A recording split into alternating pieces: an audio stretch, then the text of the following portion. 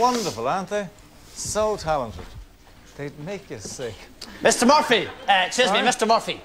I'd like to ask you a question.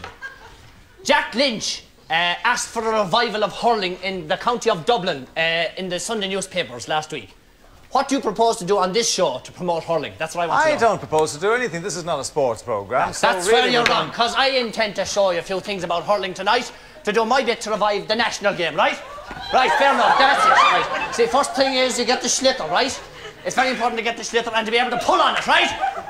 Right, fair enough. Okay, okay, carry out those bodies there now. Now, now, with the help of this dummy, I don't want to give away my political allegiance, but I think I'll call him Garrett. Um, I'd like to show you a few of the basics. If you can't get the sliotar, try and get the man. Now, the number of tackles, uh, first of all, there's the dental pull, just there.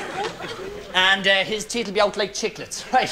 He's a bit jarred tonight, don't mind him. He, he used to be a psychiatrist on the Late Late Show, but don't worry about that. Now, the next tackle is called the women's lib tackle, right? Uh, you give that in there like that, right? Right? Yeah. Yeah. It's, uh... Dave, come up and give me a hand with him. Come on, give me a hand with him. Hold him up. Hold him up there. And it's called, uh... it's not called that in the script. But, uh... It's called the women's lip tackle because it gives them a spare rib. See, we have a sense of humour on the county board. I tell you, you'd need No. to. You'd need to. I'm warning you. the way things are falling I'm warning down you. here. Now, the next thing we have is the anti-family planning tackle. Uh, turn him around, David, so everybody gets... Right, fair enough. That's just in there like that, right? After that, he won't be planning much of a family, I can tell you.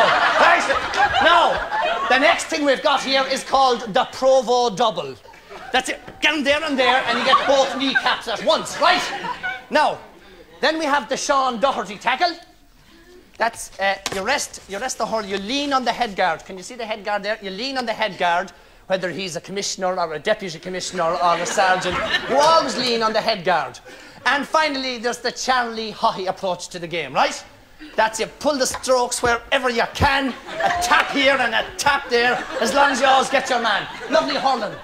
Lovely, lovely touch. Lovely Yes. touch. Straighten up, straighten up, for God's sake. Pull yourself together, man. right, that's it. We'll be back with more of it next week.